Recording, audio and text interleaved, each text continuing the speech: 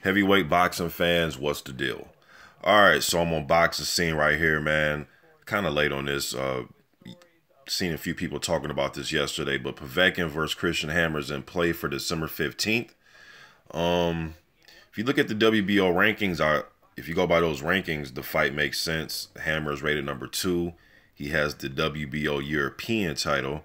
Povetkin is rated number seven. He has the WBO International title, I believe that him and uh, Rudenko fought for. Um, so I guess this kind of I seen Shannon Briggs come out was it last month, and according to him, and I did a video about it, he was saying that uh, his team and Povetkin team were in talks. So I guess they're leaning more towards Christian Hammer. Um, style wise, I think it's a good fight. It's a fight where Povetkin he won't have to go looking for Christian Hammer unless Christian Hammer comes in there and, and, fights a totally different fight. But he likes to come forward. I've seen Hammer get hit with good shots. Seen him, you know, he's lost his, you know, he lost some fights. Seen him get stopped viciously by Wach. Uh, Price dropped him. He got up to eventually stop Price. Um, he has two decent wins that stand out: the Price and Teper victories. Fights that he was not um, the favorite going into the fights. Although I thought those fights were 50-50 type of fights. Um, let's just look up his uh, BoxRec really quick.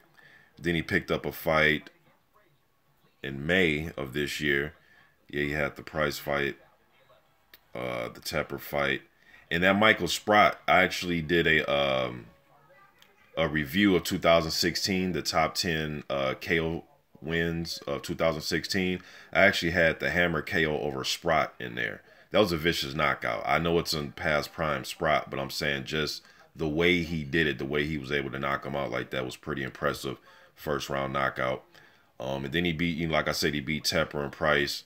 Then he picked up a win in May of this year. So, yeah, man, if he fights uh Povetkin, I think it'd be a decent fight. It'd be better than the fights that I was hearing.